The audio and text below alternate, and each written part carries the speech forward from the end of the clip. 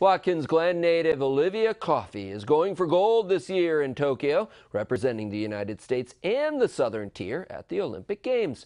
Tara Lynch of our sister station in Elmira spoke with Coffey about some new changes to Olympic rowing, making it fair for men and women on the water.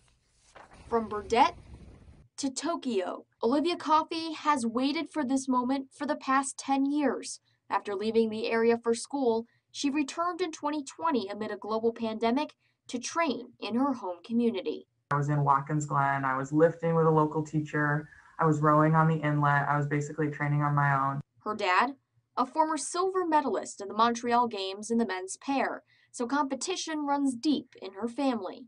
But sometimes, like, we would be like competing and stuff. I'd be like, "Yeah, Dad, like, look what I did," and be like, "Well, when you've won an Olympic silver medal, then you can talk to me." So I would love to like finally be like, I got a gold. Not only will she represent the Southern Tier on the international stage, she will also represent female athletes during a time when women are fighting for equity in sports.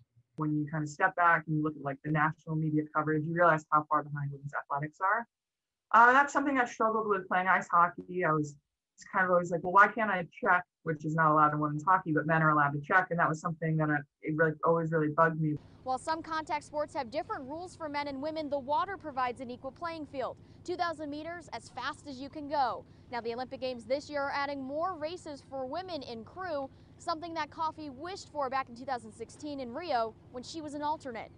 2021 will be the first Olympics that men and women have equal opportunity in rowing.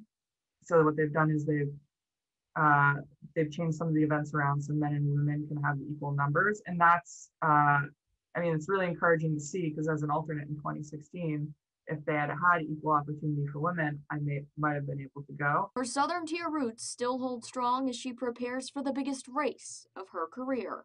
If I do well there, that's you know the community gets a piece of that too, and and I hope that they enjoy it as much as I do. The U.S. Women's Eight is going for their fourth straight Olympic gold, and the races begin July 24th on NBC. For 18 News, I'm Tara Lynch. From